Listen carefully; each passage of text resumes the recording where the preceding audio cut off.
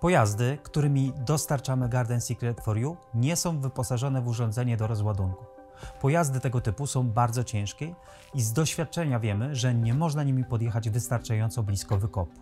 Jakie parametry musi spełnić dźwig, który można wykorzystać do rozładunku piwniczki Garden Secret for You?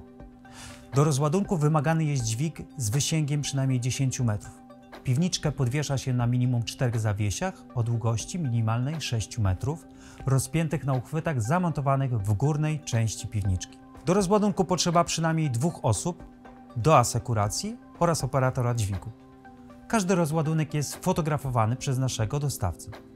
Uszkodzenia powstałe na skutek nieprawidłowego rozładunku nie są podstawą do reklamacji. Czy można ręcznie rozładować Garden Secret for You? Garden Secret for You należy rozładować przy pomocy dźwigu.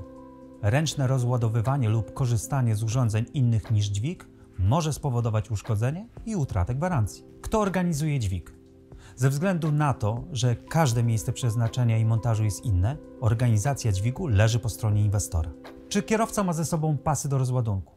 Tak, nasz kierowca będzie miał ze sobą pasy.